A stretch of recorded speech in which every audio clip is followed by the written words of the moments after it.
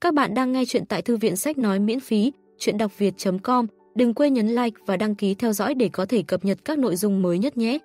Bên cạnh đó các bạn cũng có thể đóng góp ủng hộ theo mã QR trên video hoặc số tài khoản ở phần mô tả để giúp kênh có chi phí để thực hiện các bộ truyện tiếp theo. Xin trân trọng cảm ơn. Sau đây là bộ truyện khấu vấn tiên đạo của tác giả Vũ Đà Thanh Thạch. Tập 298 Chương 2971 Loạn cục Hoàng thượng bệnh nặng, thế lực khắp nơi đều đặt tâm tư trên tranh đoạt đại vị. Biến số lại bắt nguồn từ bên ngoài. Ba, Ngọc Lãng lắc bàn tay một cái, chén trà quẳng xuống đất, chia năm xẻ bảy. Bất chấp nước trà tung tóe trên người, Ngọc Lãng gắt gao nhìn chằm chằm những tin tức cấp báo. Sơn Phủ, Tử Thực Phủ, bên trong Ninh Phủ. Không ngoại lệ, đều là Phủ thành Lộc Châu. Lần này trọng tâm Đại Lương Quốc tập kích chính là Lộc Châu. Mà Phủ quân Ninh Phủ ở Lộc Châu chính là Trần Trân Khanh, Trần Phu Tử. Nhân gian không thể so với tu tiên giới, có các loại linh phủ và pháp thuật đưa tin, chiến báo chậm trễ, Đại Lương Quốc xâm lấn, mấy phủ gần như lập tức trở thành cô thành. Các tin tức truyền đến Đô Thành đã là mấy ngày sau, ai cũng không rõ quan quân Lộc Châu có thể ngăn trở lần tập kích này không, hiện tại tình huống trong thành như thế nào. Yến Quốc và Đại Lương Quốc có tổng cộng 4 châu giao giới. Trong 4 châu, Lộc Châu mặc dù nhiều lần chiến loạn, nhưng địa vị chiến lược không phải trọng yếu nhất. Dựa theo lẽ thường, Đại Lương Quốc xâm lấn Yến Quốc Lộc Châu cũng không phải là lựa chọn đầu tiên. Do đó, Yến quốc bố trí binh lực tại Lộc Châu không phải nhiều nhất. Thái tử cuối cùng không phải hoàng thượng, nhúng tay binh quyền là tối kỵ, Ngọc Lãng âm thầm vận hành, nhiều nhất điều thêm một ít lính phòng giữ trong ninh phủ. Đại lương quốc tập kích Lộc Châu, trước đó không có dấu hiệu, Ngọc Lãng ở gần trung tâm quyền lực, cũng không thể nhìn thấy tình báo liên quan có thể thấy được lần tập kích này ẩn kín cỡ nào. Vội vàng không kịp chuẩn bị, Lộc Châu có thể thủ vững bao lâu? Bên trong ninh phủ có thể thủ vững bao lâu? Kẹt kẹt. Một nữ tử mặc áo gấm vàng nhạt đẩy cửa phòng ra, bưng một tô canh đi vào. Nữ tử có dung mạo thượng giai, cử chỉ đoan trang, thần sắc ôn nhu, chính là phu nhân mới cưới của Ngọc Lãng, thiên kim lễ bộ thị lang, họ mộ tên Vân Oản. Phu quân, uống canh sâm đi. Mộ vân oản quét mắt nhìn mảnh sứ vỡ trên đất, đặt tô canh xuống, ôn nhu nói. Lúc này, nàng đột nhiên thấy ánh mắt ngọc lãng, một trái tim đột nhiên siết chặt. Đây là ánh mắt thế nào? Bàng hoàng, lo lắng, kinh hoàng, sợ hãi. Trên triều đình, bất luận hung hiểm cỡ nào, phu quân đã tính trước sau. Nàng chưa từng thấy loại ánh mắt này trên người phu quân. Chuyện gì xảy ra? Mộ Vân Oản duỗi ra bàn tay mềm mại, nhẹ nhàng nắm chặt tay Ngọc Lãng, muốn ôn nhu chấn an phu quân. Ngọc Lãng như tỉnh mộng, người đưa tin còn ở bên ngoài không? Mộ Vân Oản ừ một tiếng. Ngọc Lãng đột nhiên đứng lên, nhanh chóng cởi quan phục, đẩy cửa sau ra, không đi theo cửa chính, nhảy cửa sổ muốn đi ra. Lúc sắp nhảy ra, Ngọc Lãng giống như nhớ tới cái gì, quay đầu dặn dò, chờ Đào dự tới, bảo hắn chờ ta tại thư phòng, chờ ta trở lại rồi đi Đông Cung. Không sử dụng linh lực, Ngọc Lãng cũng là một cao thủ tiên thiên hàng thật giá. Thật, một thân khinh công lô hỏa thuần thanh, gã nhanh chóng để lại một câu nói, như linh miêu, vội vàng trốn vào trong hắc án. Mộ Vân Oản đứng bên cửa sổ, nắm thật chặt song cửa sổ, nhìn bóng đêm đen kịt, mặt mũi tràn đầy lo lắng. Ngọc yêu hồ, Thanh Dương trả lâu, Ngọc Lãng rời tần phủ, không ngừng nghỉ chạy đến, toàn bộ hành trình dùng khinh công đi đường. Tin gấp đặt ở trước mặt tiểu ngũ. Tiểu ngũ không kinh hoàng giống như Ngọc Lãng, trầm mặc chốc lát nói, phu tử sẽ không đi. Ngọc Lãng hiểu ý của sư tỷ, giống như trả lời, lại như chấn an bản thân, ninh phủ ở trong phủ thành, dù bị quân địch vây khốn, hẳn là không thể bị phá nhanh như vậy. Bất quá, bọn gã đều hiểu, Đại Lương quốc đột nhiên xuất binh xâm chiếm, khẳng định mưu đồ đã lâu, thế tất yếu nhất cổ tác khí, cướp lấy chỗ tốt lớn nhất. Trên biên cảnh, ngoại trừ mấy đại hùng quan, các phủ thành đều được xây thêm, trong đó vẫn còn hải cốt thành cũ được tu bổ thêm, tường thành chỉ sợ vững chắc hơn một chút so với huyện thành bình thường. Ngọc Lãng không lưu loát nói, trên người phu tử có hộ thân phù. Phu tử sẽ không đi. Tiểu ngũ lặp lại câu nói kia. Bọn gã đưa cho phu tử hộ thân phù, chỉ là dùng để đề phòng chuyện ngoài ý muốn, chống cự pháp thuật tu tiên giả. Bọn gã có thể luyện chế hộ thân phù tốt hơn, nhưng quỷ thần sẽ không cho phép. Một khi bị vạn quân vây khốn, đao binh ra thân, hộ thân phủ cũng không bảo vệ được thân thể. Huống hồ, lấy tính cách Trần Chân Khanh, nhất định sẽ tồn vong cùng bách tính. Ta đi đến Ninh Phủ. Tiểu ngũ điểm mi tâm của mình, linh quang thoáng hiện, phát ra âm một tiếng, một đạo phù văn phức tạp hiển hiện, sau đó bỗng nhiên vỡ nát, giống như phá vỡ một tầng phong ấn, tu vi tiểu ngũ phục hồi. Sau một khắc, tiểu ngũ biến mất tại chỗ, rầm rầm. Nước hồ dập dờn, ban đêm tiếng nước đặc biệt rõ ràng, truyền vào thanh dương trả lâu. Trong phòng không có đèn thắp sáng. Tiểu ngũ rời đi, Ngọc Lãng một mình ngồi yên trong bóng đêm. Tại thời khắc khẩn yếu quan đầu chiều cục biến đổi này, lại ngồi lâu ở đó không hề rời đi. Sư tỷ tiến vào trong ninh phủ cứu người, tu tiên giả nhúng tay thế gian. Đúng là chuyện trước đó gã căm thù đến tận xương tủy. Lúc này, gã lại không ngăn trở, không dám ngăn trở. Bất luận thế nào, gã cũng không thể trơ mắt nhìn Trần Phu Tử chịu chết. Cho dù gã biết rõ, nếu như Trần Phu Tử khăng khăng không đi, muốn tồn vong cùng Ninh Phủ, sư tỷ khẳng định sẽ ra tay bức lui đại quân đại lương quốc. Thế cuộc nhân gian, vận mệnh vô số người, vì một mình sư tỷ mà thay đổi. Ngọc Lãng chậm rãi khom người xuống, hai tay ôm lấy đầu của mình. Có gió thổi đến, bên cạnh hiện ra một bóng người, chính là thanh niên họ Thạch. Ngọc Lãng không chỉ không ngăn cản sư tỷ cứu người, còn chuẩn bị hai tay, nếu sư tỷ không thể mở ra phong ấn, sẽ mời Thạch đại ca đi một chuyến đến Ninh. Phù, hiểu rõ ngọn nguồn, còn nghĩ không ra sao? Ha ha ha, về sau ngươi sẽ biết, trên đời này có rất nhiều chuyện không nghĩ ra đấy. Họ Thạch than nhỏ một tiếng, vỗ vỗ vai Ngọc Lãng, ngươi cần phải trở về. Trần Phu Tử nếu như chết trên chiến trường, cũng coi như chết có ý nghĩa. Ngươi chỉ cần mở miệng, ta sẽ giết hết quân đại lương, bất quá lần này ngươi nhập thế sẽ không có chút ý nghĩa nào. Ta nghĩ, Trần Phu Tử dưới suối vàng có linh, càng muốn nhìn thấy, ngươi có thể phụ tá thái tử đăng cơ, cường thịnh đại yên quốc, đường đường chính chính đánh bại đại lương quốc, báo thù cho hắn. Trên quan đạo tràn đầy người chạy nạn.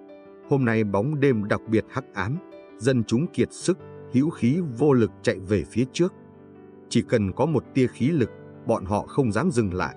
Đại quân địch quốc ngay sau lưng, bọn họ chỉ có thể trốn, trốn vào trong địa giới quốc gia. Tiểu ngũ bay trên không trung, ánh mắt tuần sát trên mặt đất.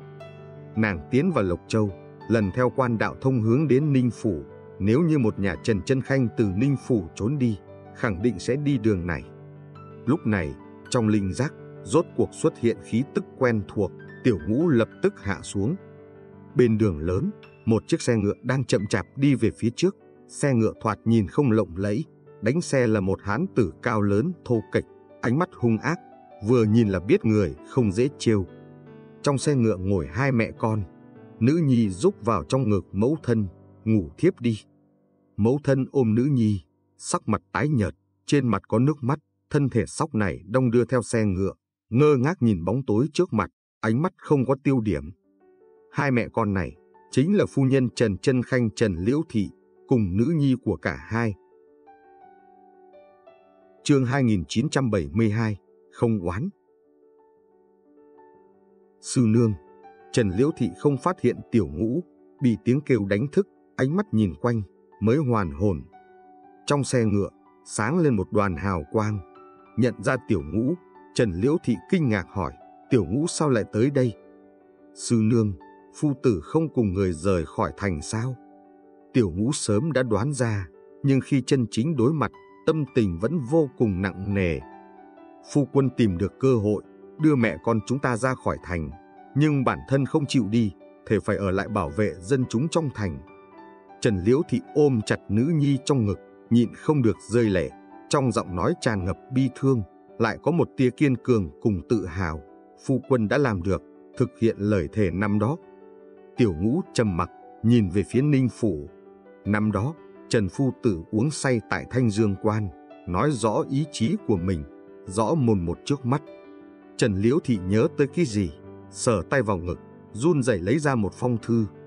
Một đường chạy nạn, trải qua gian nan khốn khổ, phong thư này lại được bảo tồn cực kỳ hoàn hảo, không bị nhăn nheo chút nào. Đây là phu quân để lại cho các ngươi. Tiểu ngũ nhận lấy, mở thư ra, phát hiện chỉ có tám chữ. Chết cùng dân, chết mà không oán. Bút tích hơi lèm, hiển nhiên là vết mực chưa khô, đã gấp gáp thu vào, nhưng có thể nhìn ra, cảm nhận được sự dứt khoát cùng tín niệm trong bức thư. Tiểu ngũ, Trần Liễu Thị do dự hỏi, các ngươi, không phải người bình thường đúng không? Tiểu ngũ ở đô thành xa xôi, đột nhiên xuất hiện ở đây, dù cho cưới thần mã, cũng không có khả năng nhanh như vậy. Lúc còn ở thất bài thôn, vợ chồng bọn họ biết vị thanh phong đạo trưởng kia phi phàm, là một ẩn sĩ cao nhân, dạy dỗ hai đồ đệ cũng là nhân trung long phượng. Chỉ có điều, Trần Liễu Thị không rõ bất phàm đến cùng cỡ nào. Thấy tiểu ngũ gật đầu thừa nhận, hai mắt của Trần Liễu Thị sáng lên, ngươi có thể. Ta sẽ đi. Tiểu ngũ bày ra cấm chế, bảo vệ xe ngựa, tiếp đó bay về phía Ninh Phủ.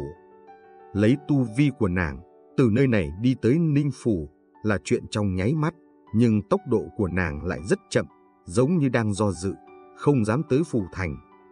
Bóng tối bao trùm đại địa, tiểu ngũ một mình phi hành, tốc độ như chim bay, rốt cục nhìn thấy Ninh Phủ.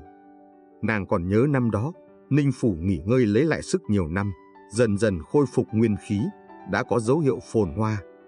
Hiện nay, bên trong phủ thành, vô số bó đuốc chiếu sáng trời đêm, đồng dạng chiếu sáng tường thành đổ sụp, cùng với núi thây biển máu.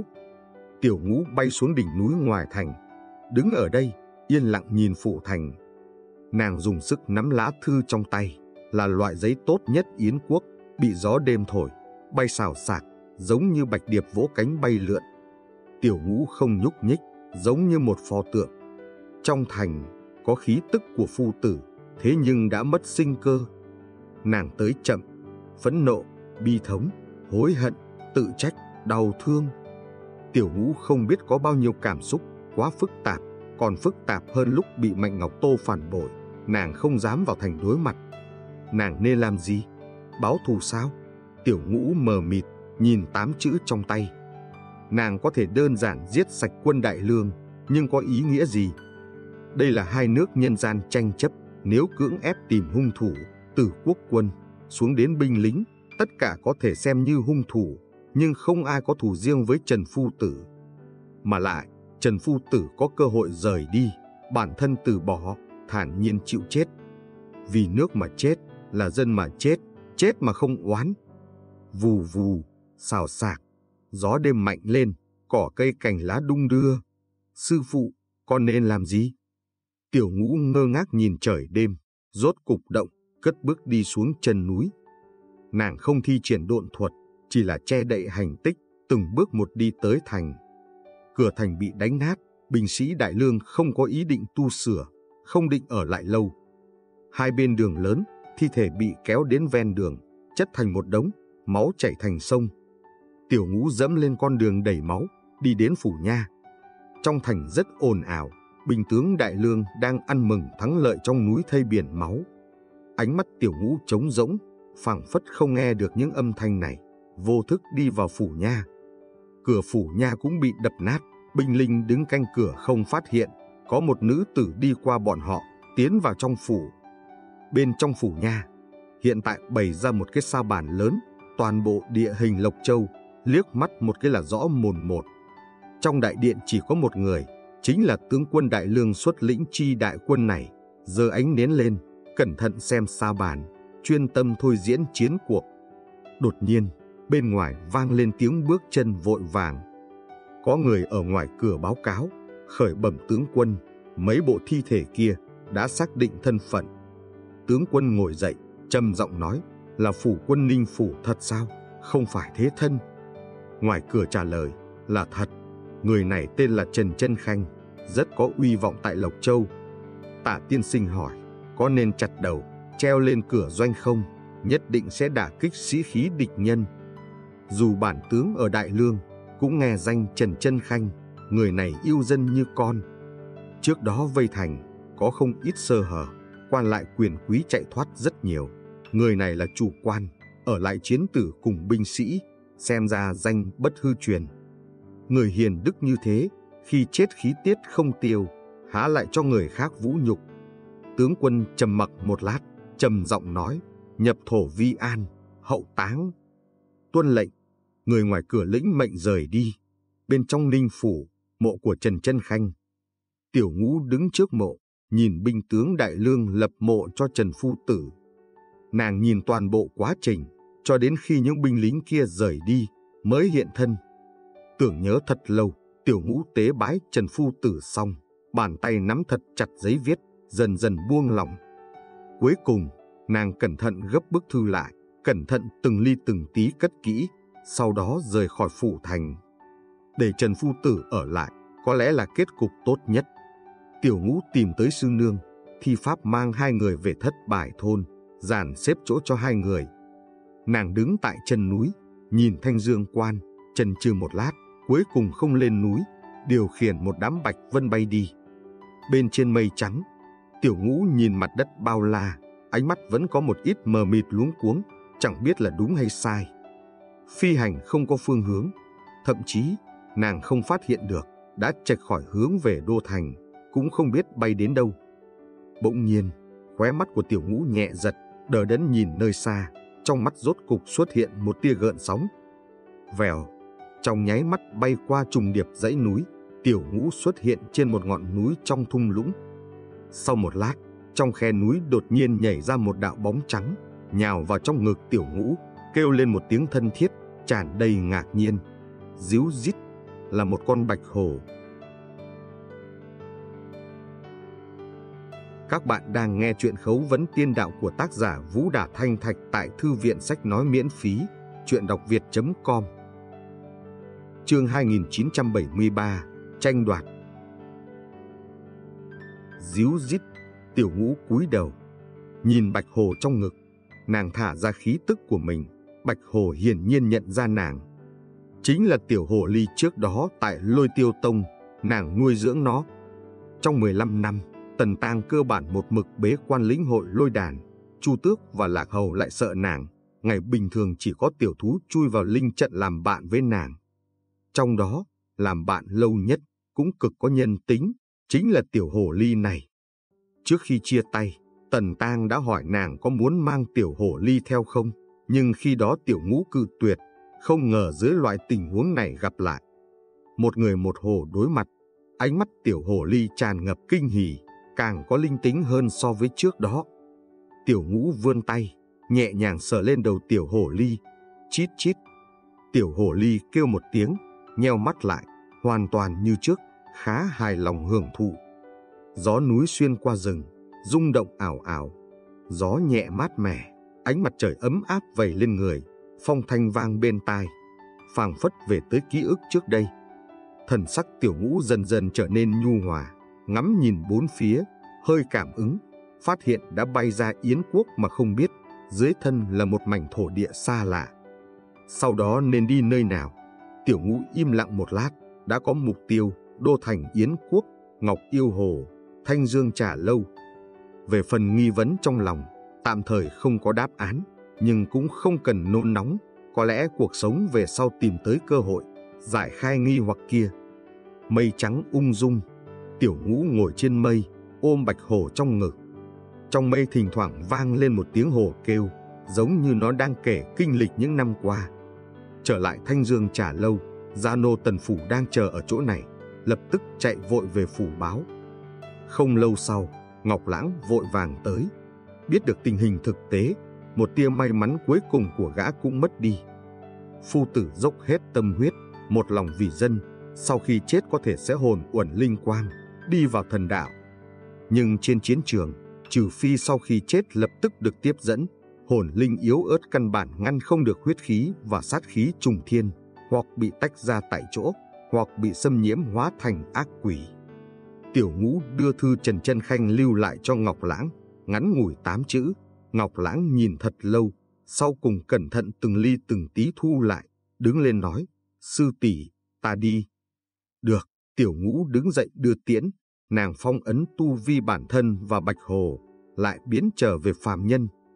Đi ra quán trà, Ngọc Lãng dừng một chút, nhìn hướng Hoàng Thành, trầm giọng nói, ta sẽ phát triển quốc lực yến quốc hơn xa đại lương, đường đường chính chính đánh bại bọn hắn trên chiến trường, tế điện phu tử. Cấp báo vào kinh thành, triều chính chấn động. Cùng lúc đó, trong kinh thành, thế lực khắp nơi cũng ngo ngoe muốn động. Đại lương phát binh, thời cơ trùng hợp như thế, không thể không khiến người suy nghĩ sâu xa. Giờ khắc này, bên phía Ngọc Lãng và Thái tử đã nhận ra một chút dị dạng, phong ba sắp tới, có một số việc khả năng thời gian tới sẽ thấy rõ ràng. Ngọc Lãng nắm thật chặt bảo phục, hít sâu một hơi, biến mất trong hắc ám.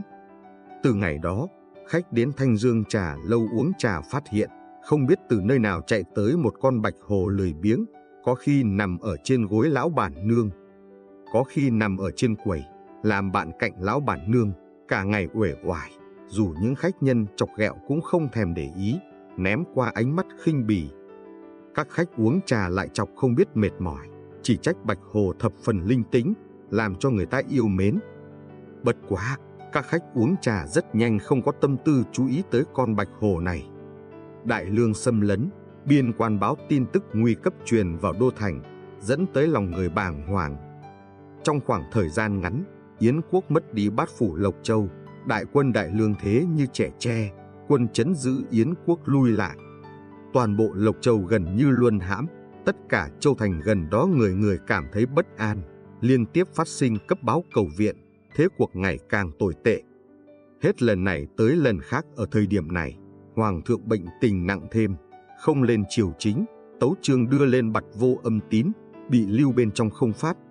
Trong lúc cấp bách, Ngọc Lãng trở lại trả lâu, giống như trước đây, không giữ lại chút nào kể lại hết thế cuộc kỳ lạ với tiểu ngũ, cùng với nàng bàn kế hoạch. Yến quốc trong ngoài khốn đốn, thái tử uy vọng không đủ, chư vị hoàng tử mỗi người đều có mục đích riêng, triều thần quan sát. Trên triều đình, quan to quan nhỏ tranh luận không ngớt, làm chế chiến cơ. Ngọc Lãng than nhẹ, thanh âm mang theo mỏi mệt.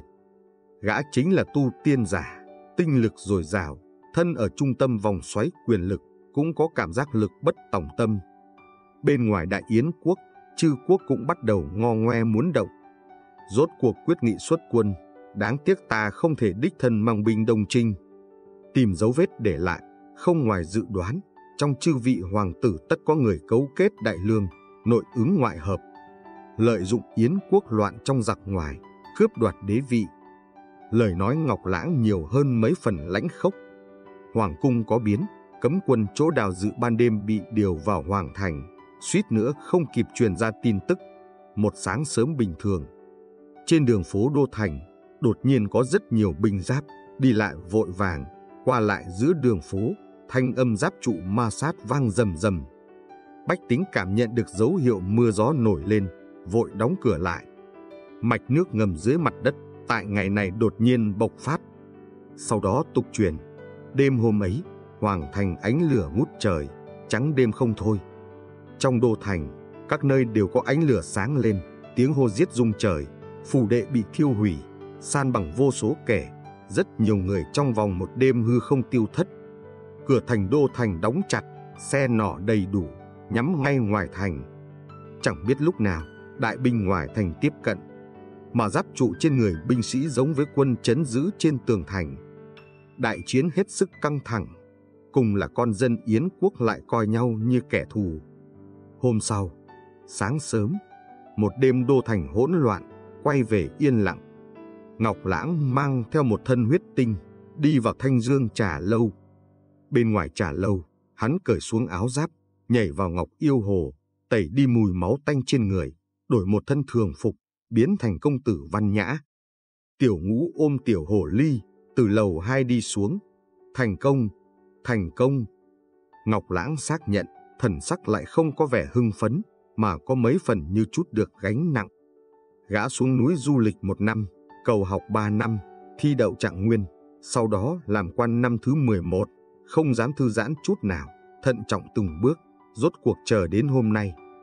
Gã gần như quen thuộc sinh hoạt thế tục, mỗi lần gặp mặt sư tỷ, mới nhớ lại chuyện cũ, nhắc nhở thân phận thật sự và lai lịch của mình. Đáng tiếc, để tam hoàng tử chạy thoát, tính sót một điểm, hắn mới là chủ mưu cấu kết đại lương, nhị hoàng tử bị người lợi dụng mà không biết, thật đáng buồn đáng trách. Ngọc Lãng nhấp một ngụm trà, lắc đầu than nhẹ. Tiên hoàng anh Minh đã sớm bố trí, hoàng thượng kế tục đại vị thuận lợi hơn tưởng tượng. Do đó, tam hoàng tử thấy thời cơ bất ổn nên quả quyết rút lui. Rất nhiều lực lượng dưới trướng còn chưa nổi lên mặt nước, chắc chắn sẽ không ngừng hy vọng. Chương 2974 Loạn quốc Hoàng thượng nhường ngôi, danh chính ngôn thuận, thiên hạ quy tâm, tam hoàng tử có yêu ngôn hoặc chúng. Cũng không nổi lên được sóng gió quá to, chỉ sợ gã tiếp tục cấu kết đại lương, mưu đồ làm loạn, bách tính chịu khổ. Thời gian tới, Yến quốc sẽ loạn trong giặc ngoài, đệ và đào dự đã thương lượng, một người ở lại thủ kinh thành, một người ra ngoài bình định. Không ổn, trong ngự thư phòng, Tân Hoàng quả quyết bác bỏ.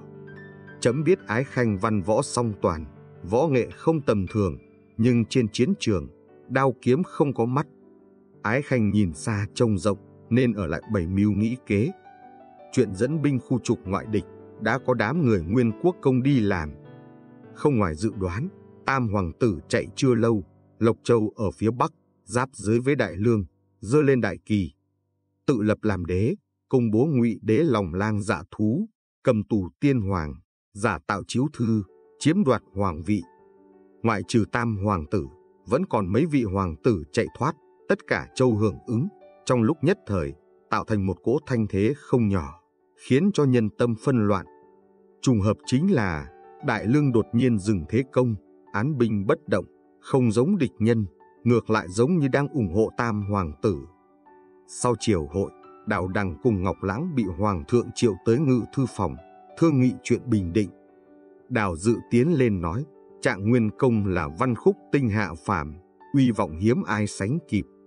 Người trong thiên hạ nhìn thấy trạng nguyên công hiện thân, sẽ biết bên nào chính thống, bên nào là yêu nghiệt làm loàn quốc. Ra, chính nghĩa thì được ủng hộ, chắc chắn sẽ nhẹ nhõm quét dọn phản quân. Thần nguyện phân ưu cho Hoàng thượng, tấn sức mọn. Ngọc Lãng cũng nói, Hoàng thượng than nhẹ, tần ái khanh phải cẩn thận. Hai vị ái khanh chính là giường cột nước nhà, hai cánh của trẫm mất người nào cũng là tổn thất lớn lao của Yến quốc.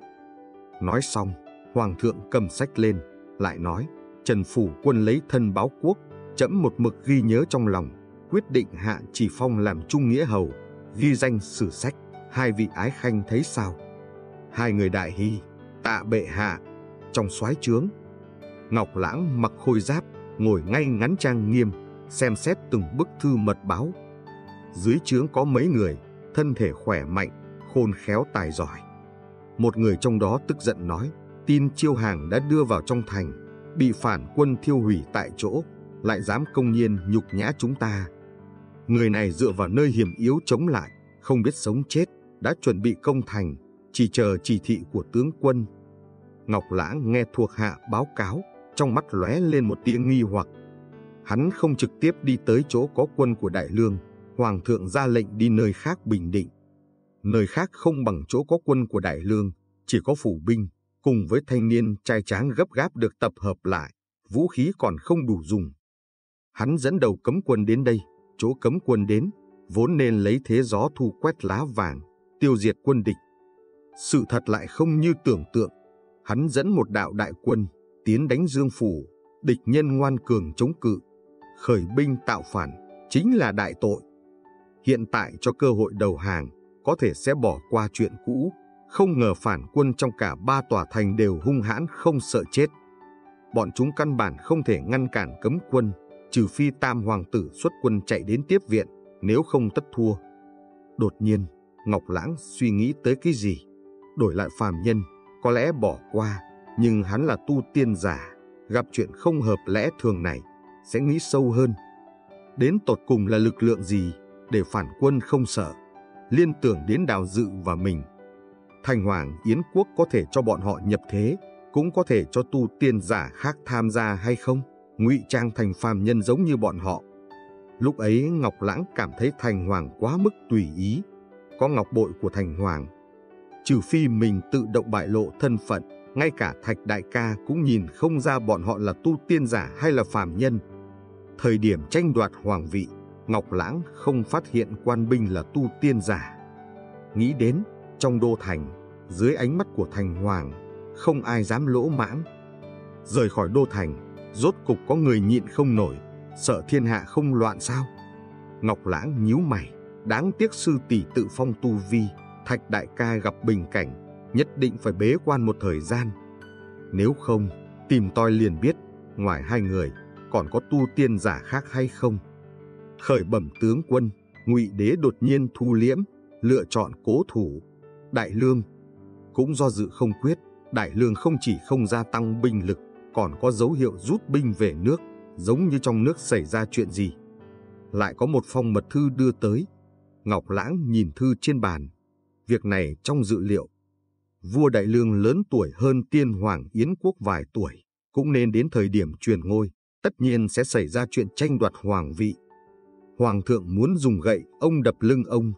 Ngọc Lãng thầm cảm thán, vua Đại Lương mưu sâu tính kỹ, tiên hạ thủ vi cường, phái một đạo đại quân đảo loạn Yến quốc. Đại Lương có thể chuyên tâm giải quyết nội chính, miễn cho bị Yến quốc thừa lúc vắng mà vào. Ý niệm này đột nhiên xuất hiện, Ngọc Lãng càng nghĩ càng nhiều, sau cùng suýt nữa hoảng sợ chảy mồ hôi lạnh. Trận chiến hai nước này thật đơn giản như bề ngoài vậy sao? Đến cùng có bao nhiêu tu tiên giả tham dự, mục đích của bọn họ là cái gì? Nếu giống như mình và Đào Dự, nhập phàm trải nghiệm, hay là du hí hồng trần, hay là có mưu đồ khác? Quỷ thần Yến Quốc có mục đích gì? Vẫn còn sư phụ của Đào Dự, hắn một mực không có cơ hội bái phòng là lai lịch gì? Ngọc Lãng nôn nóng không hiểu, đứng lên, đi qua đi lại. phảng phất có một bàn tay vô hình, nắm hắn, đào đằng, hoàng thượng, bách quan, lê dân bách tính, toàn bộ Yến quốc siết trong tay. Ngọc Lãng vô thức há miệng. Trên bầu trời luôn có một đám mây đen, một mực áp xuống, càng ngày càng thấp, làm hắn không thở nổi. Đám mây đen này chính là tu tiên giới. Thế tục phân loạn, tu tiên giới cũng không ổn định. Yến quốc, khu vực phía tây nam, thế núi hiểm trở.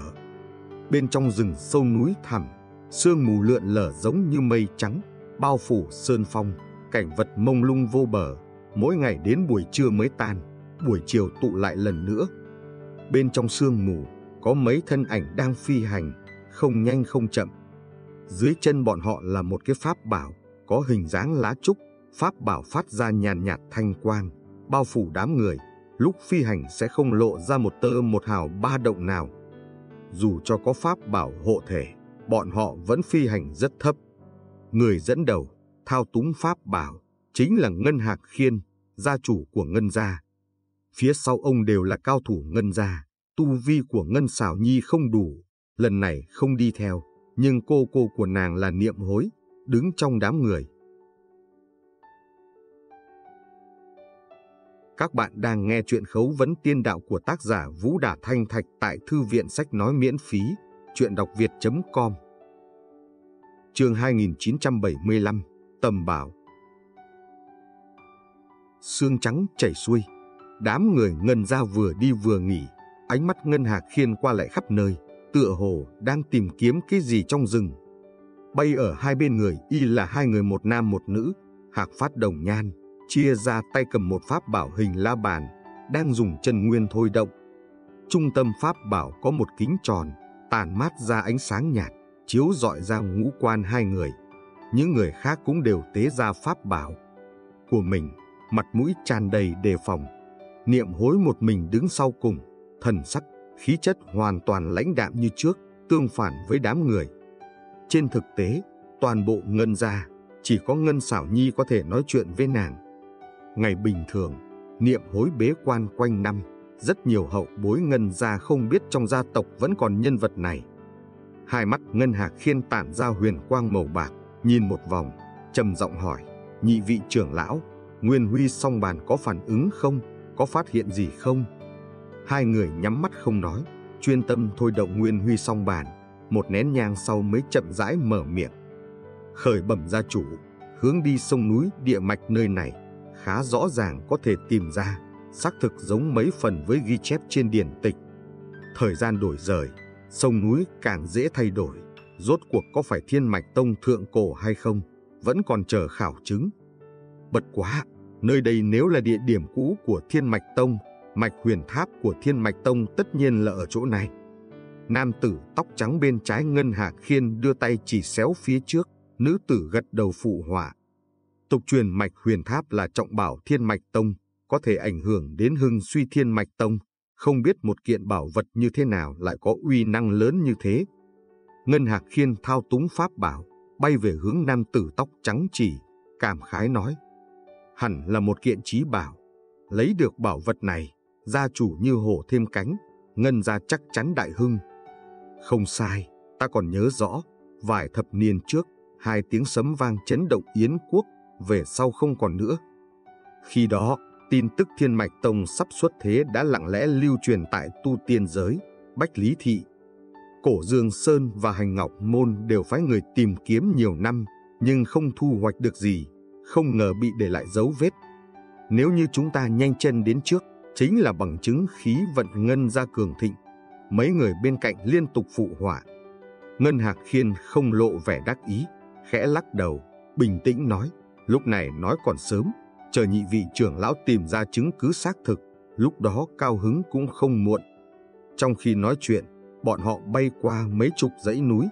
Chờ một chút, nam tử tóc trắng đột nhiên kêu đám người dừng lại, pháp bảo trên tay lấp lánh, mặt kính ở giữa chiếu dọi ra một mảnh sông núi, chính là cảnh tượng quanh đám người, giống như ở trên không quan sát đại địa. Cẩn thận quan sát là có thể phát hiện địa hình xung quanh có chút đặc biệt. Sông núi nơi này thoạt nhìn không có gì đặc biệt, nhưng nhìn ra xa, cho người cảm giác thấp hơn một chút so với những ngọn núi xung quanh, phảng phất đại địa hạ xuống một đoạn. Bình thường có lẽ sẽ không có người chú ý điểm khác biệt này, nhưng kết hợp tin tức ngân ra thăm dò trước đó, nơi đây nhất định có kỳ lạ. Có gì đó quái lạ. Ngân Hạc Khiên thôi động thần thức, đảo qua phiến khu vực này, phát hiện nơi này có rất nhiều sơn động. Sơn, động rõ ràng dày đặc hơn nơi khác, phân bố phi thường lộn xộn, sở không được quy luật, có ở trên núi, có dưới thung lũng, nhưng có một điểm giống nhau, đều thông hướng lòng đất. Trên mặt đất cũng không khác thường, không có bất kỳ di tích nào liên quan đến tháp, tìm kiếm mạch huyền tháp, có thể phải vào sơn động, xuống dưới đất tìm kiếm. Bất quá, nhiều cửa hang như vậy, rốt cuộc đi vào chỗ nào tìm. Trong di tích, nói không chừng có cấm chế trận pháp thiên mạch tông lưu lại, mạnh mẽ đâm tới bên trong, sẽ chỉ mang tới càng nhiều phiền phức cho mình. Hộ pháp cho hai vị trưởng lão, Ngân Hạc khiên khẽ quát một tiếng, đám người lập tức phân tán ra, bảo hộ nhị vị trưởng lão ở giữa, hai tay thi pháp, che lấp dị tượng. Hai người ngồi xếp bằng đối mặt, dơ lên la bàn trong tay mình, dưới đáy xích lại, hợp hai làm một. Sau một lát, hai người phun ra một ngụm máu tươi, máu tươi chui vào nguyên huy song bàn, xông vào cảnh tượng mặt kính chiếu dọi ra. Bên trong tựa hồ có một không gian, máu tươi chảy xuôi vào, biến thành từng con run máu, chia ra tiến vào trong một sơn động. Chỉ thấy Nguyên Huy song bàn trong tay hai người rung động, chỉ chốc lát sau, đột nhiên phun ra một đoàn huyết quang, nhuộm đỏ một phiến khu vực trong đó, đại khái đi vào hai mươi mấy sơn động. Đám người đồng loạt nhìn về phía khu vực ứng đối với hiện thực. Gia chủ, chúng ta đã tận lực cửa vào khả năng ở vùng này. Mặt mũi nam tử tóc trắng tràn đầy mỏi mệt, nói, làm phiền hai vị trưởng lão. Lưu hai người lại hộ pháp cho trưởng lão, các ngươi đi theo ta. Ngân hạc khiên bay vút đến phía trên một khu vực, không nhìn ra mánh khóe, chọn lấy một sơn động, chui xuống đất. Những người khác theo sát phía sau. Đi xuôi theo sơn động phía dưới, địa hình dần dần thu hẹp, đi tiếp một khoảng đột nhiên rộng mở, giống như mạng nhện phân tán ra. Thoạt đầu, đám người thử dùng thần thức dò xét, không phát hiện dị thường, nhưng tiếp tục đi sâu vào, cảm giác thần thức bị áp chế khó hiểu, ngay cả ngân hạc khiên tu vi nguyên anh cũng không may mắn thoát khỏi. Nơi đây nhất định là di chỉ thiên mạch tông, có người kinh hỉ nói, an tâm chớ vội. Ngân hạc khiên quát lớn một tiếng, nhìn niệm hối phía sau, tứ muội có phát hiện gì không? Niệm hối đào mắt một vòng, từ trong tay áo lấy ra một con ngọc thiền, nhẹ nhàng vuốt cánh ve, ngọc thiền sống lại, cánh ve vỗ, phát ra thanh âm trầm thấp vù vù. Sóng âm vô hình khuếch tán ra, kéo dài một canh giờ, cánh ve khép lại, rơi vào trong lòng bàn tay niệm hối. Không phải nơi này, niệm hối bình tĩnh nói. Trên mặt mọi người vốn vui mừng không khỏi thu liễm lại, nhưng không ai nghi ngờ, đều biết rõ món pháp bảo cửu âm thiên này lợi hại, niệm hối cũng không có khả năng nói dối. Ra ngoài, Ngân Hạc Khiên quả quyết rời khỏi mặt đất, lựa chọn một sơn động khác, tiếp tục đi xuống. Sau đó lần lượt lặp lại, rốt cuộc chui vào sơn động thứ 11, niệm hối đưa. Ra đáp án hoàn toàn khác trước. Nơi đó, niệm hối chỉ hướng một đường hành lang trong đó, đồng thời bay vút vào trước. Sơn động sâu không thấy đáy, bọn họ phi độn đã lâu cũng không đến phần cuối, nhưng trong động dị thường càng ngày càng nhiều. Phía trước lại có một ao đá. Một gã tộc nhân ngân gia truyền âm nhắc nhở, lời nói khá khẩn trương.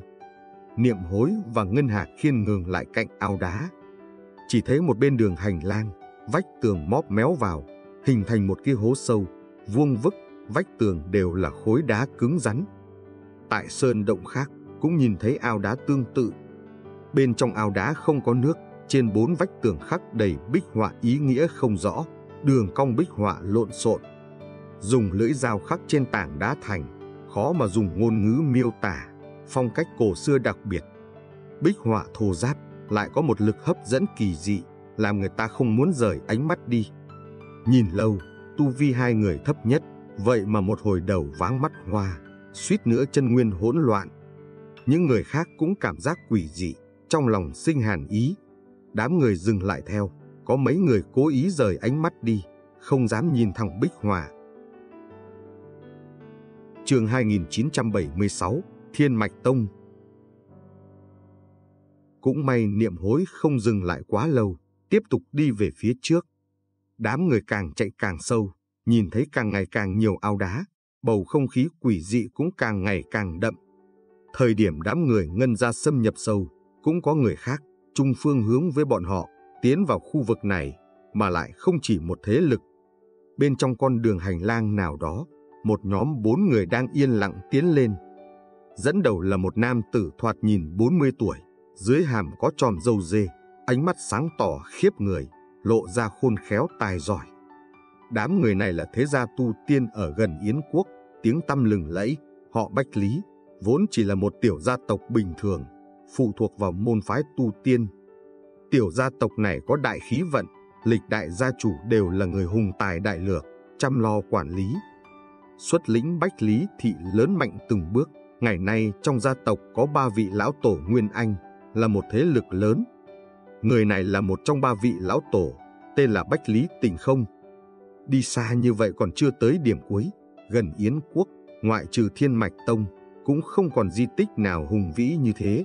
Không ngờ yên lặng rất nhiều năm, còn có thể xuất thế.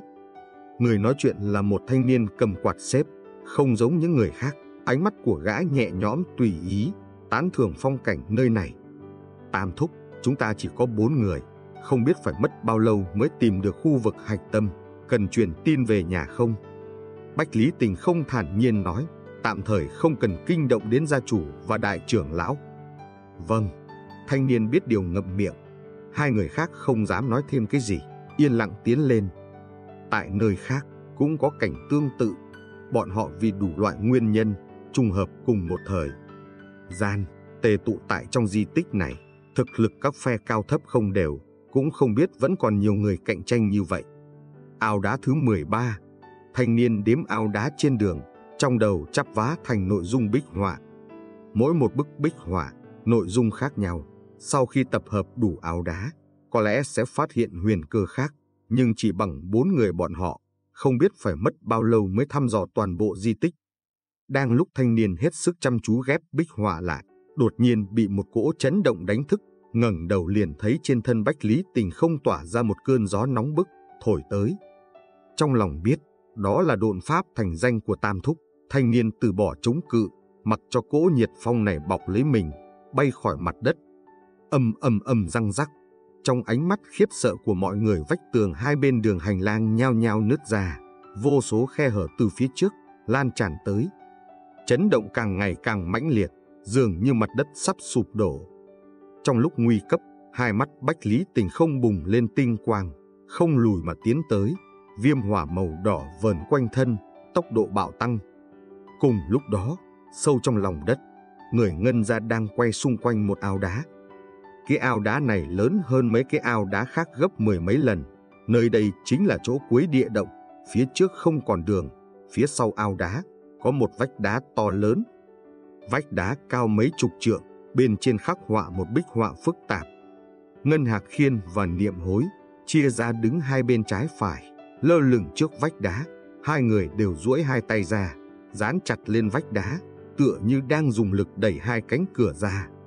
Người Ngân ra ở phía sau, triển khai trận pháp, toàn lực thi pháp, từng cơn sóng màu lam, dâng tới vách đá, trợ lực cho hai người. ầm, ầm, ầm, vách đá lần đầu tiên chấn động, chính giữa bích họa nứt ra một cái khe.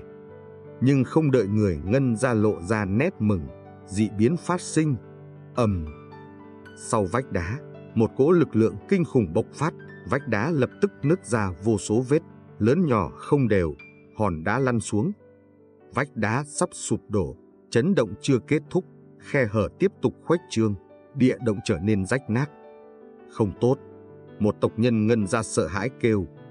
Sắc mặt ngân hà khiên u ám như nước, dị biến phát sinh quá nhanh, không kịp phản ứng, mà lại căn bản không cách nào ngăn cản. Nếu như chấn động chỉ ở dưới lòng đất, có lẽ còn kéo dài được một đoạn thời gian, vạn nhất di tích sụp đổ, chỉ sợ sẽ bị người khác phát hiện. Rất nhanh, các thế lực tông môn xung quanh Yến quốc sẽ chạy tới kiếm một chén canh, thay đổi. Ngân Hạc Khiên đang muốn hạ lệnh, bỗng nhiên cảm giác được cái gì. Trong lúc hỗn loạn, một cỗ khí tức cường đại phi tốc tới gần, trong lòng không khỏi siết chặt. Hiển nhiên không chỉ có Ngân gia phát hiện di tích này. Thế cục còn bết bát hơn dự đoán, đối thủ tới nhanh như vậy. Trong lúc cấp bách, Ngân Hạc Khiên không chú ý tới, thần sắc niệm hối hơi khác thường. Đôi mắt của nàng nổi lên gợn sóng nhỏ xíu, bên trong ánh mắt hiện lên một tia kinh ngạc cùng không hiểu, dần dần tựa hồ hiểu rõ cái gì, trong ánh mắt hiện lên vẻ đắng chát. Thay đổi trận, Ngân Hạc Khiên hét lớn, người Ngân ra hoảng mà không loạn, lập tức cải biến trận pháp, song trường đẩy về phía trước, từng dòng nước màu lam thành hình trước mọi người, cuồn cuộn lao tới vách đá. Vách đá vốn đã tàn phá, bị đám người liên thủ công kích, rốt cục chịu không nổi, triệt để sụp đổ. Phía sau bụi mù, lộ ra một tòa thạch điện phong cách cổ xưa. Trên vách tường thạch điện khắc đầy bích họa, vậy mà không có mặt đất, giống như một cái giếng sâu không thấy đáy, thông hướng vô định. Mơ hồ trong đó, nhìn thấy chỗ cực sâu có ánh sáng nhàn nhạt, giống như là bảo vật tỏa ra ánh sáng. Ngân Hạc Khiên từ bên trong loạn thạch bay ra, nhìn thấy cảnh tượng trong điện, thân ảnh nhoáng lên, lúc này muốn phóng xuống dưới, sau lưng đột nhiên vang lên tiếng sét đánh. Ầm, một đạo hồng quang lao thẳng tới hậu tâm Ngân Hạc Khiên, tiếng cười cởi mở đồng thời truyền tới. Ngân gia chủ, lâu rồi không gặp, sao không dừng lại chút, cần gì nóng lòng như vậy? Phía sau Ngân Hạc Khiên hiện ra một đoàn lam quang. Hai hào quang vừa tiếp xúc nhau, lập tức cuốn quýt lấy nhau. Ngân Hạc Khiên không bị thương, nhưng dưới cơn trùng kích mãnh liệt, thân thể không khỏi nghiêng sang một bên, cưỡng ép đứng vững, đè lửa giận xuống, nghiêm nghị quát, bách lý tình không. Chỗ càng sâu hơn trong lòng đất, nơi nào đó không muốn người biết.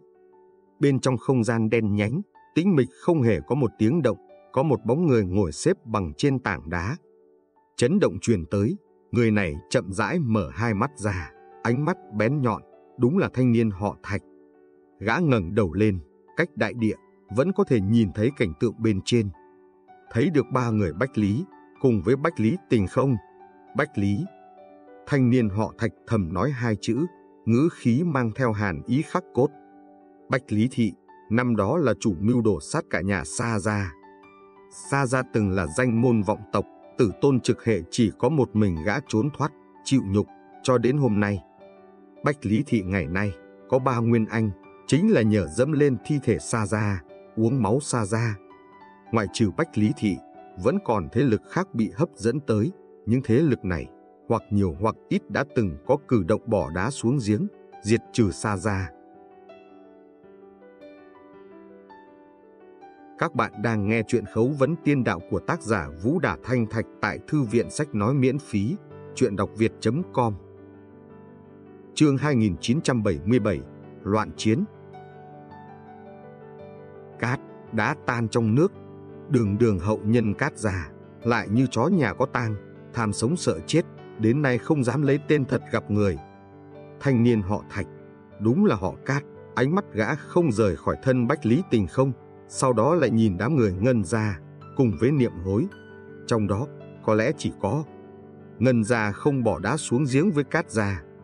Nhưng gã và ngân ra, cùng với tứ tiểu thư ngân ra năm đó, ngày nay là niệm hối, lại có nguồn gốc cực sâu. Chỉ có điều, đối với đám người ngân gia thanh niên họ cát cũng không đối đãi khác. Lúc này, tất cả mọi người, kể cả niệm hối, đều là quân cờ trong tay gã. Ánh mắt thanh niên họ cát sáng lên, nhoáng một cái không thấy tăm hơi. Đường hành lang trong lòng đất như lưới, chấn động không ngừng, hỗn loạn dị thường, thanh niên họ cát lại không bị ảnh hưởng chút nào, lặng yên không một tiếng động lao vùn vụt trong này.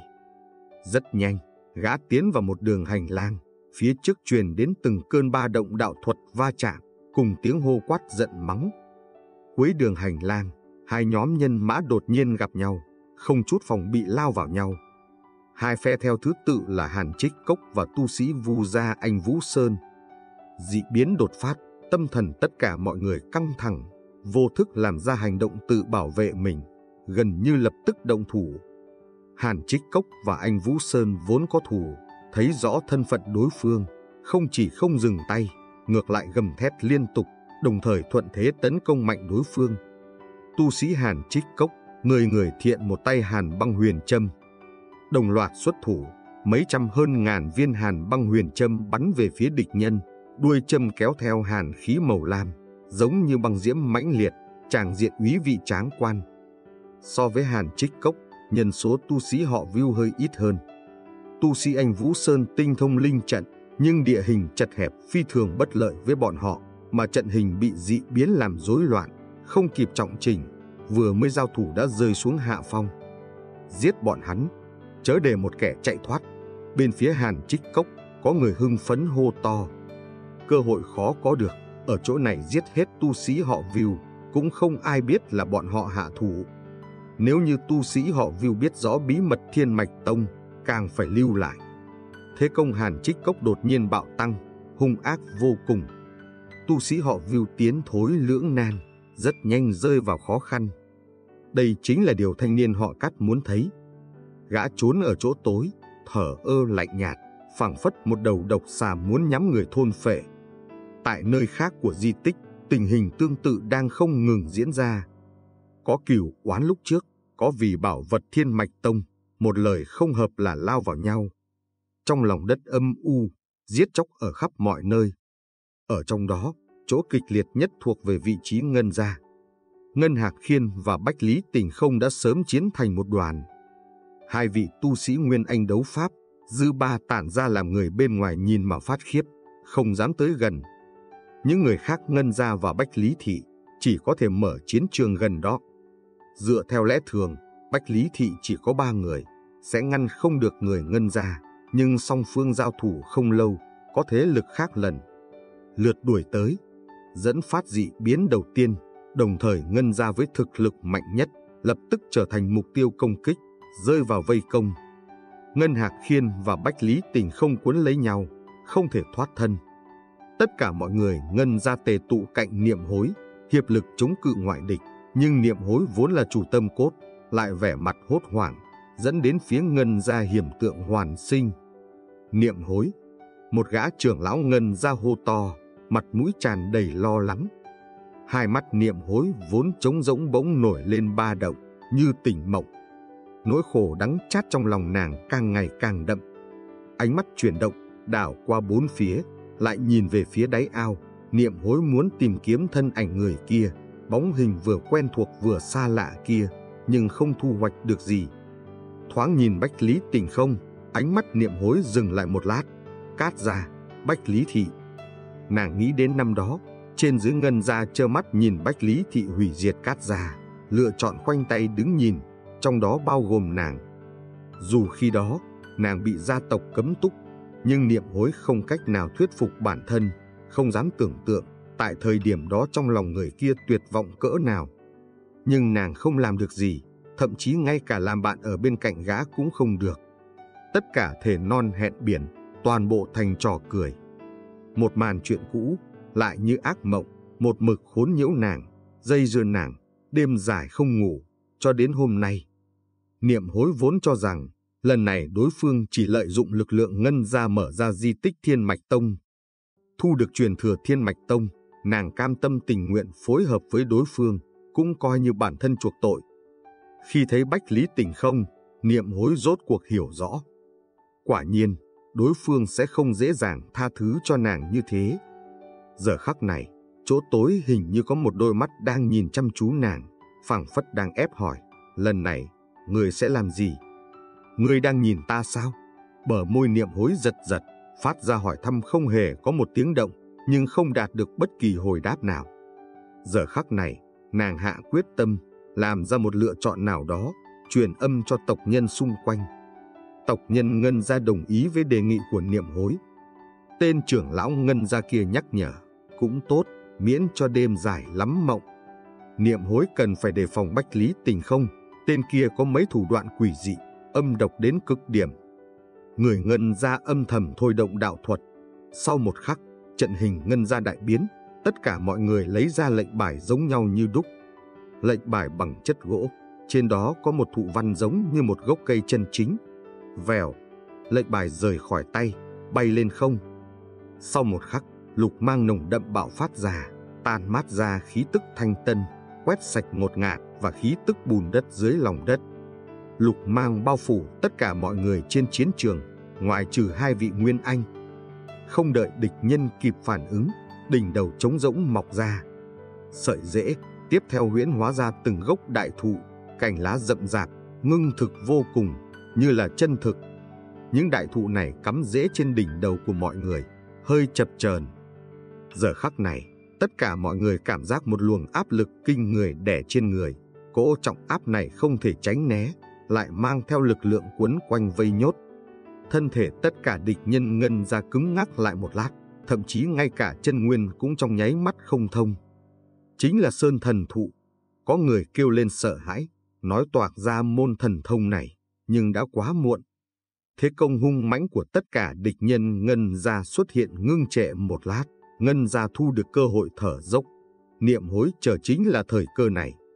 Nàng không chút do dự, chân phải trùng điệp đạp mạnh hư không, dưới chân bộc phát thanh quang, sinh ra mười mấy sợi trường đằng xanh biếc. Trường đằng mỏng manh, lại cứng cỏi dị thường, hung hăng quất về phía địch nhân, giống như từng sợi roi thép, mang theo tiếng xé gió chói tai, làm người nghe mà biến sắc. Mượn nhờ uy lực trường đằng, niệm hối từ trong khe hở vòng vây phá vỡ, thành công lao ra khỏi vòng vây, sau đó lấy dây leo bao quanh thân, bỗng nhiên cấp bách hạ xuống. Phốc, ầm, ầm, ầm. Trong khoảnh khắc, mấy đạo công kích theo sát tới, đều bị dây leo ngăn trở. Chương 2978, Báo thù Dây leo vỡ vụn, khí tức niệm hối lộn xộn, nhưng không có thương thế rõ ràng. người dám? Đột nhiên, bên cạnh vang lên một tiếng gầm thét. Niệm hối chỉ thấy bị một cỗ khí tức vô cùng nóng bỏng tới gần, giống như dung nham chảy xuống. Mấy đoạn dây leo hóa thành cho tàn vỡ tại, tóc của nàng cũng quăn xoắn. Nhưng niệm hối không sợ hãi chút nào, thế hạ xuống không giảm trái lại còn tăng. Chiến trường bên kia. Sau khi niệm hối khởi hành, Ngân hà Khiên liền thi triển thần thông đã xúc thế từ lâu, ống tay áo bắn ra một đạo ánh sáng sáng, Hóa thành một đạo đao mang giữa không trung, nhắm ngay đầu Bách Lý Tình không, lăng không chém xuống. Không ngờ, Bách Lý Tình không đối mặt đao quang, không trốn tránh chút nào, trước ngực lấp lóe kim quang, một sợi dây chuyền màu vàng bay ra, mặt dây chuyền là một khối tinh thạch màu đỏ. Rắc, tinh thạch vỡ vụn, tiếng gào thét đinh tai nhức óc truyền ra. Trong đó huyễn hóa ra một con cự quy, toàn thân cự quy là hỏa diễm, màu sắc mai rùa thâm thúy dị thường, hỏa diễm làm cho người ta cảm thấy nặng nề. Cự quy hiện hình, ngăn cản bên dưới bách lý tình không, phốc. Đao quang bổ lên trên thân cự quy, kích thích sóng lửa ngập trời. Cự quy suýt nữa bị chém thành hai phần, đao quang cũng khó mà tiến thêm, không đủ để uy hiếp bách lý tình không. Bách lý tình không cực kỳ tin tưởng cự quy, hoàn toàn không để ý tới đao quang. Ngân Hạc Khiên không nghĩ tới đối phương ngăn cản một đao của mình nhẹ nhàng như vậy, trong lòng thầm kêu không tốt, một khi Bách Lý Tình không hạ sát thủ, niệm hối sẽ cực kỳ nguy hiểm. Cẩn thận, Ngân Hạc Khiên kêu to, lắc ống tay. Áo, một cái lưỡi lớn bắn ra, chụp tới Bách Lý Tình không, ý đồ bổ cứu.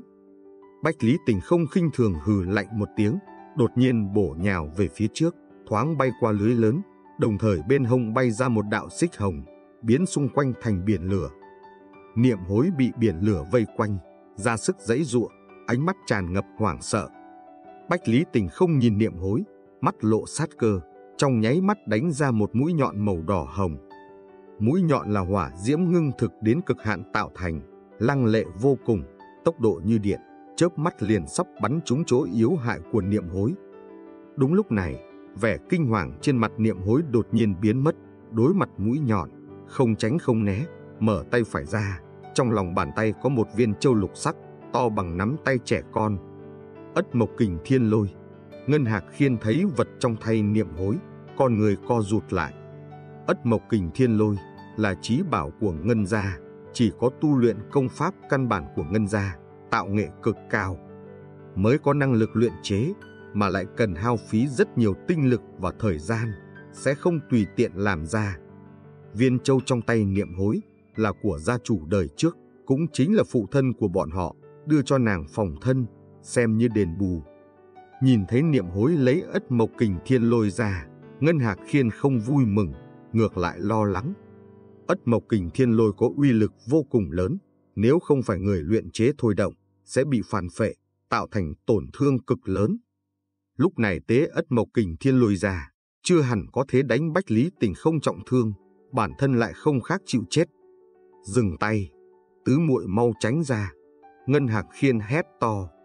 Niệm hối mắt điếc tai ngờ, tay nâng ất mộc kình thiên lôi, chân nguyên trong cơ thể điên cuồng tràn vào, mặt ngoài lục châu hiện ra từng tia chớp màu xanh lục. Vô thanh vô tức, lục châu nổ tung, toàn bộ không gian bị lục quang bao phủ, trên thân đám người nhiều thêm một lớp lục quang. Sau đó mới có tiếng sấm chớp chói tai truyền tới. Sấm sét xuất hiện, đại địa chấn động.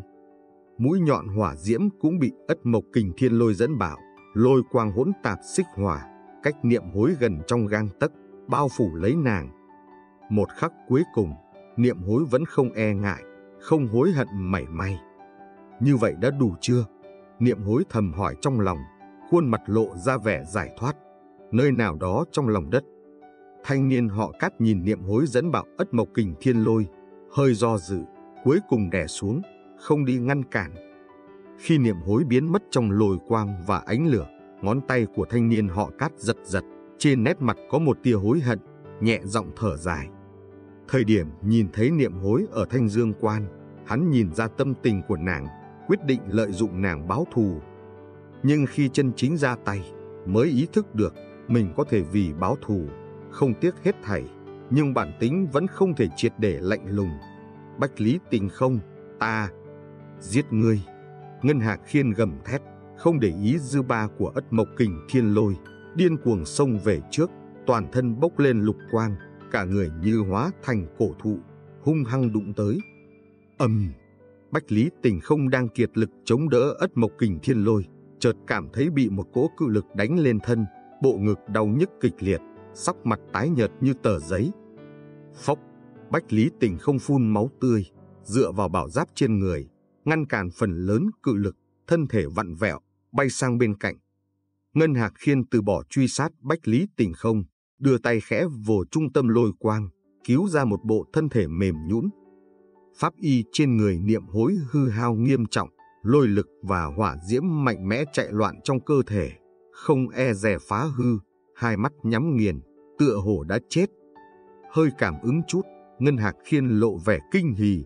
Niệm hối vẫn còn một hơi, nhờ có ất mộc kình thiên lôi ngăn chặn lực lượng mũi nhọn hỏa diễm, hòa hoãn xung đột, niệm hối may mắn thoát chết. Nhưng tình huống trong cơ thể nàng rất không ổn, gã có thể thu nạp lôi lực giúp niệm hối, nhưng lực lượng hỏa diễm phi thường quỷ dị, không dễ dàng áp chế. Ngân Hạc Khiên liên tục điểm chỉ lên thân thể niệm hối, trong lòng đột nhiên nổi lên báo động, bóng cây ly thể bắn ra, ngăn cản Bách Lý Tình không tập kích. Bách Lý Tình không xóa máu tươi trên khóe miệng, sau khi bị thương, thần sắc không còn nhẹ nhõm nữa, nhìn thấy ánh mắt muốn giết người của Ngân Hạc Khiên, âm thầm cảnh giác, liếc nhìn niệm hối, cười lạnh nói. Vị này chính là tứ tiểu thư du rú trong nhà sao? Dám để cho hỏa độc của lão phu nhập thể, Ngân gia chủ không giúp nàng thanh trừ hỏa độc, sẽ hương tiêu ngọc vẫn nha. Tốt, tốt, tốt. Hôm nay Ngân mỗ lĩnh giáo thủ đoạn của huynh đài, khắc ghi trong lòng. Ngân Hạc Khiên nghiến răng nghiến lợi, kêu to ba tiếng tốt. Đúng lúc này, phía dưới đáy giếng, truyền lên cơn chấn động mãnh liệt hơn. Một đoàn linh quang lấp lóe không yên, có cấm chế gì bị bọn họ đánh động, tạo ra một cơn gió lốc, xông ra đáy giếng. Lực lượng gió lốc kinh người, đám người không kịp né tránh, bị thổi bay. Thấy tình cảnh này, Ngân Hạc Khiên biết bảo vật sắp xuất thế, cuối cùng vẫn lựa chọn cứu người, ôm niệm hối lui về phía sau. Bách Lý Tình không muốn mau chóng thu lấy bảo vật, điều tra một lát, thôi động pháp bảo hộ thân, bay vào chỗ sâu trong gió lốc. Những nơi khác vẫn không ngừng chém giết, tình hình càng ngày càng nghiêm trọng. Có rất ít người để ý, máu tươi rơi xuống mặt đất, chảy vào áo đá, đã nhuộm đỏ một vài bức bích họa.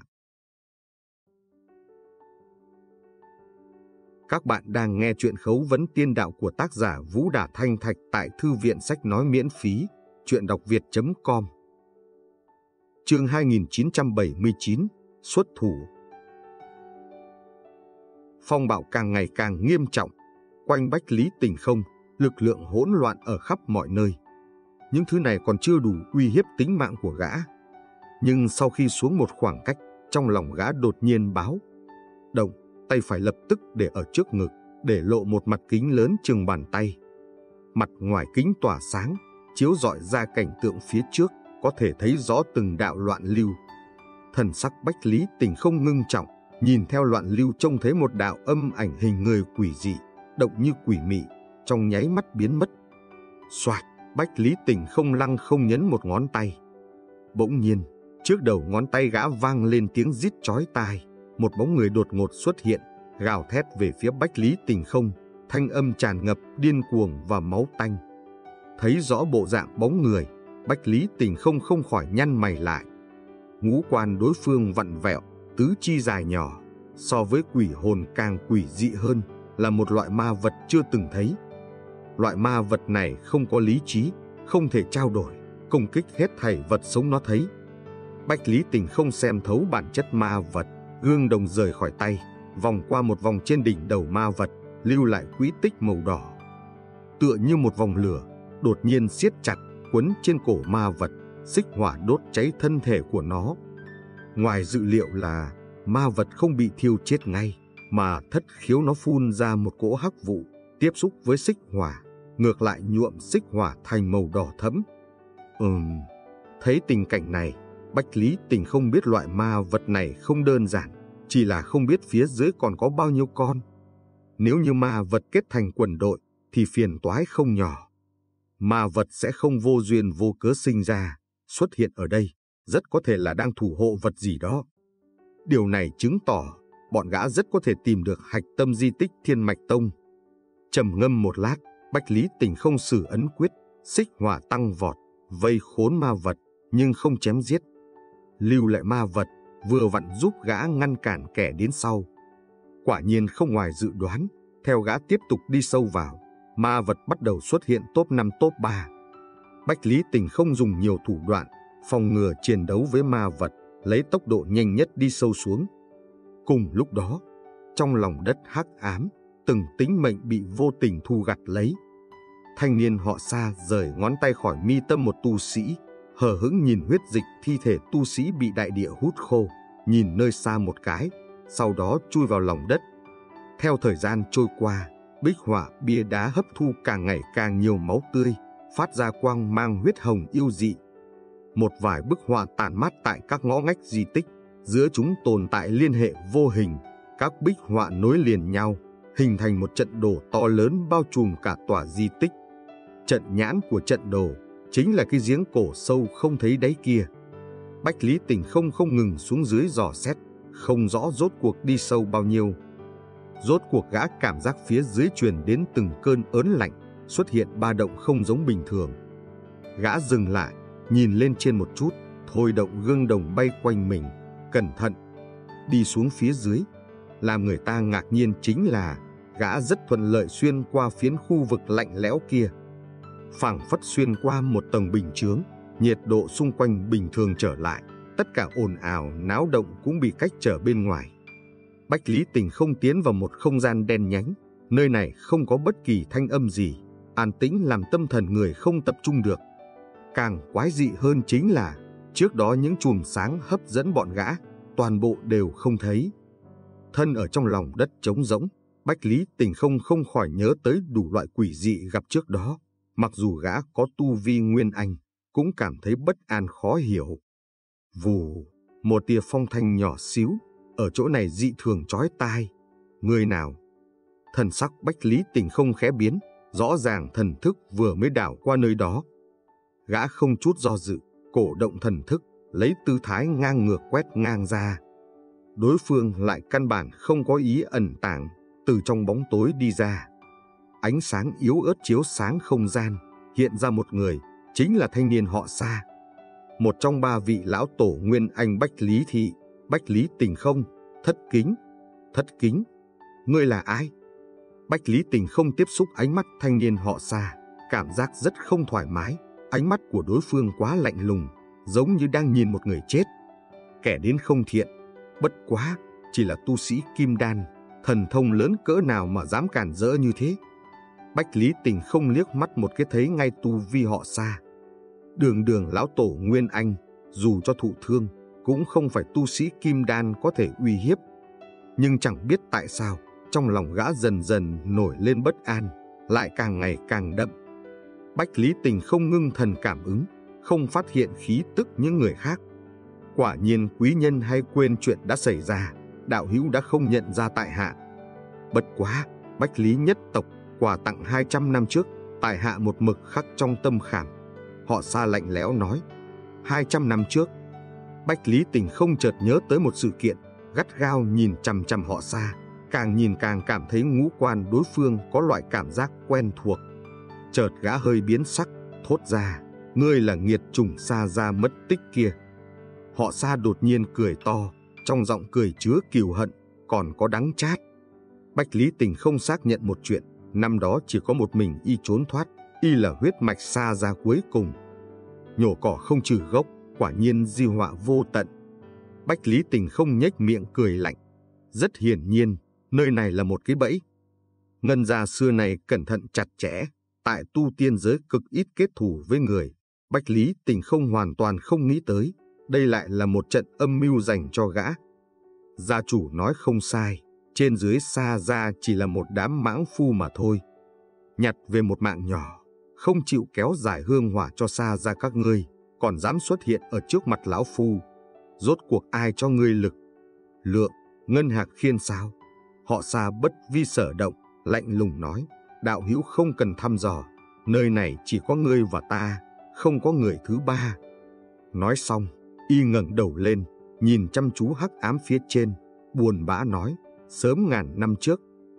Sa Gia đã tra ra di chỉ Thiên Mạch Tông ở nơi đây, nhưng lịch đại trưởng bối dốc cả một đời, cũng không thể mở ra di chỉ. Nhưng lại bị ngươi mở ra. Bách Lý Tình không châm chọc nói, ngươi muốn nói cái gì? Nói ngươi là thiên tài ngàn năm mới gặp, những mãng phu xa ra kia cũng không bằng ngươi sao? Ta không dám bất kính với tiên tổ, nhưng cũng sẽ không coi nhẹ chính mình. Đương nhiên, còn phải cảm ơn các ngươi, giúp ta phá vỡ một đạo cấm chế sau cùng. Họ xa mở ra hai tay, trong mắt lóe lên một vệt dị sắc, trên thân tản mắt ra ba động kỳ dị, chậm rãi lan tràn ra bóng tối ở chỗ sâu. Về sau ta mới biết được, mạch huyền tháp cũng không phải là một tòa tháp.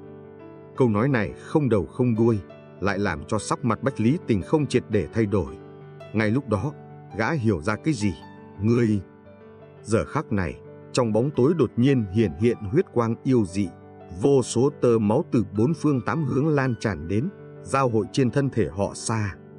Những tơ máu này giống như kinh mạch thân người, đâm vào thể nội họ xa, tương liên với kinh mạch gã.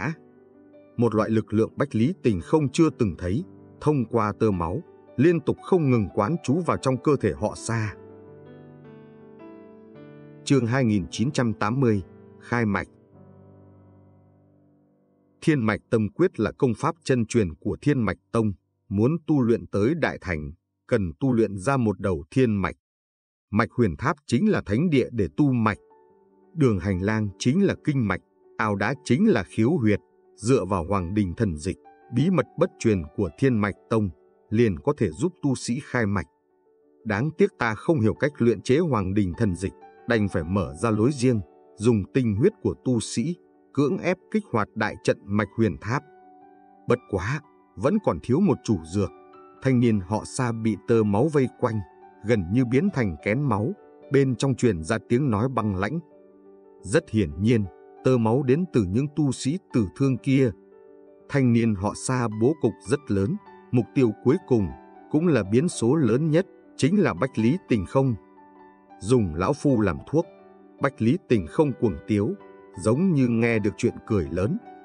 Không biết sống chết, ánh lửa chiếu sáng cả không gian. Trước người Bách Lý Tình Không hiện ra hơn 100 hỏa lôi cầu, lớn chừng nắm tay, phô thiên cái địa bắn đi. Âm, âm, âm. Hỏa lôi liên tiếp bạo tạc, nhưng không cách nào nổ đứt tơ máu. Thấy tình cảnh này, Bách Lý Tình không lập tức khống chế hỏa lôi bắn về phía thanh niên họ xa. Tu sĩ Kim Đan đối mặt một kích này sẽ bị hỏa lôi nổ thành bột mịn. Chỉ thấy thanh niên họ xa không tránh không né, song trưởng quét ngang trước người, trong cơ thể truyền ra tiếng phong. Lôi, lòng bàn tay lóe sáng, bắn ra một đạo hào quang màu đỏ ngòm, hỏa lôi bộc phát, kịp thời bao bọc hỏa lôi vào bên trong. Ầm, ầm, hỏa lôi nổ, kinh thiên động địa, quang hoàn bị phá thành mảnh nhỏ, vậy mà chặn được lực trùng kích kinh khủng của hỏa lôi. Chỉ dựa vào bản thân thanh niên họ xa, không có khả năng mạnh như vậy, nhất định là thông qua mạch huyền tháp thu được lực lượng nào đó, đủ để chống lại Nguyên Anh Kỳ. Khụ khụ, thanh niên họ xa vừa mới đại phát thần uy, đột nhiên phát ra tiếng ho khan tê tâm liệt phế, nửa người trên gần như cuộn xuống, lộ ra vẻ mặt vô cùng thống khổ. Bách Lý Tình không lập tức từ kinh truyền hỉ, cười ha ha, tiểu nhi cuồng vọng, mưu toan thao túng lực lượng Nguyên Anh, xem người khi nào thì bạo thể mà chết. Vừa dứt lời, gương đồng ở sau lưng gã bay lên, treo ngược trên đỉnh đầu, mặt kính lấp lóe hỏa diễm. Thanh niên họ xa lau máu tươi trên khóe miệng, lạnh lùng nhìn gương đồng. Rắc, nhấc tay mở ra một bình ngọc, lấy ra một viên đan dược, chính là viên đan dược của thanh dương quan. Linh dược vào bụng, một luồng lực lượng thanh lương chảy khắp toàn thân, thống khổ lập tức đại giảm, rốt cục có thể ước thúc lực lượng hỗn loạn trong cơ thể. Thanh niên họ xa kinh hỉ vạn phần, viên đan dược này có thể xưng là cực phẩm, dược lực còn mạnh hơn tưởng tượng. Thanh niên họ xa cảm thấy trong cơ thể tràn ngập lực lượng vô tận, trong lòng vô cùng tự tin, nhìn thấy gương đồng bay vụt đến, không chút do dự xuất thủ phản kích. Một tên tu sĩ Nguyên Anh bị thương, một tên tu sĩ Kim Đan thông qua ngoại vật có được thực lực Nguyên Anh. Tại chỗ sâu trong giếng cổ, liều mạng chém giết nhau. Ngân Hạc Khiên nóng lòng cứu người, những người khác thì cẩn thận ứng phó ma đầu tập kích. Không ai quấy rầy hai người. Dư ba đấu pháp tứ ngược, dị thường hỗn loạn. Thanh niên họ xa càng đánh càng hăng, Bạch Lý Tình không trái lại sinh ra cảm giác lực bất tòng tâm. Gã hoàng sợ phát hiện, mạch huyền tháp không chỉ tăng cường thực lực thanh niên họ xa lên, còn có sức áp chế những người khác. Nảy lên kia xuống, gã vậy mà rơi vào hạ phong. Gã sinh ra thoái ý, muốn chạy trốn, nhưng tìm không thấy đường đi. Trong khoảnh khắc gã bước vào không gian này, thanh niên họ xa liền âm thầm động tay chân. Phốc âm, một bóng người bay ngược về sau, chính là Bách Lý Tình không. Đáng tiếc, ta không hiểu phương pháp chân chính để mở ra mạch huyền tháp, chỉ có thể hết sức kéo dài thời gian nó tự hủy. Cũng không cách nào khống chế ma vật bảo vệ tháp, nếu không đã không phiền toái như vậy. Thanh niên họ xa thoạt nhìn vô cùng thê thảm, toàn thân bị cháy đen, không chỗ nào không bị thương. Nhưng hắn đứng đến cuối cùng.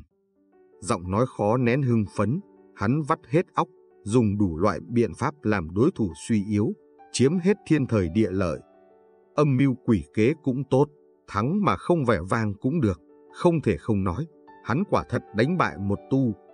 Sĩ Nguyên Anh chân chính, bước ra bước báo thù đầu tiên. Nhớ kỹ, người giết cả nhà Bách Lý, chính là Sa Gia Vũ. Thanh niên họ Sa nghiêm nghị quát, tràn ngập khoái ý. Trăm đời kinh doanh, không bằng thiên tài một thế. Bách Lý Tình không hoàn toàn không còn ngạo khí, cười thàm một tiếng. Thiên mạch tâm quyết vốn có uy lực vô cùng lớn, nghe nói tu sĩ thiên mạch tông cần phải mượn nhờ hoàng đình thần dịch. Làm diệu công pháp trùng kích cơ thể, nếu không sẽ có hại căn cơ, thời gian dài hại lớn hơn lợi. Sa Gia Vũ một lòng báo thù, hoàn toàn không để ý tương lai, còn dùng biện pháp tu luyện ma công để tu luyện thiên mạch tâm quyết. Một khi công pháp đại thành, thực lực còn cường đại hơn tu sĩ chính tông. Tu sĩ Nguyên Anh bình thường không thể sánh bằng. Đương nhiên, giá phải trả rất tham trọng, chỉ sợ ảnh hưởng đến thọ nguyên.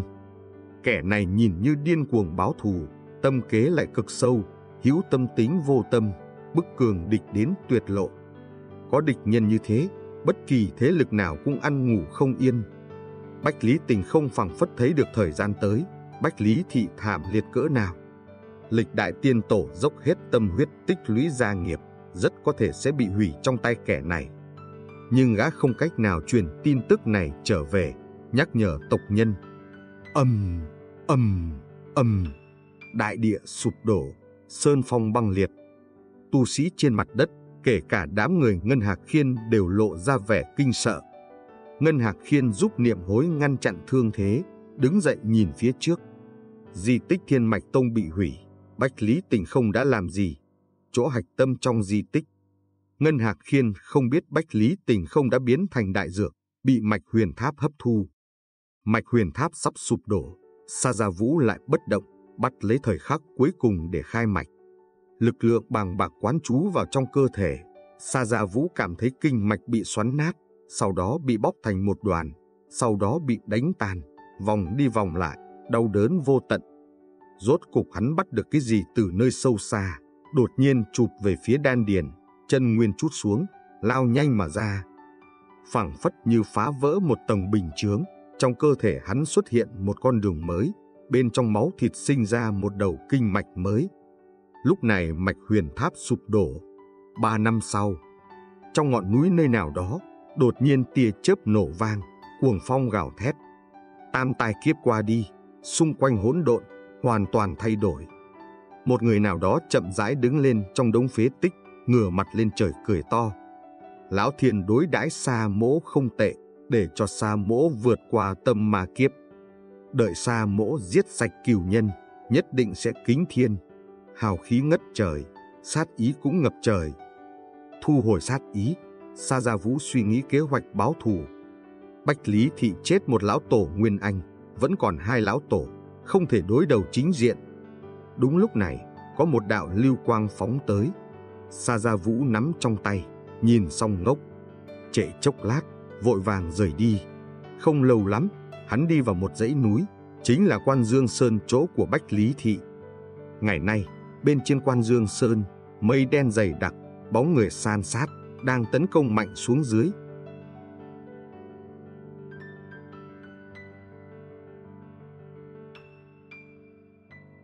Các bạn vừa nghe xong tập 298 của bộ truyện Khấu vấn tiên đạo của tác giả Vũ Đà Thanh Thạch tại thư viện sách nói miễn phí. Chuyện đọc việt.com Mọi ý kiến góp ý xin vui lòng cho mình biết ở dưới phần bình luận video này. Và các bạn đừng quên nhấn like và đăng ký theo dõi để có thể cập nhật các nội dung mới nhất nhé.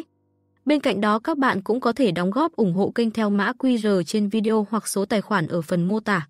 Xin cảm ơn.